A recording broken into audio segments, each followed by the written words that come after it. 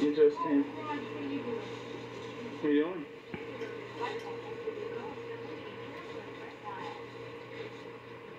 Tune into WAG.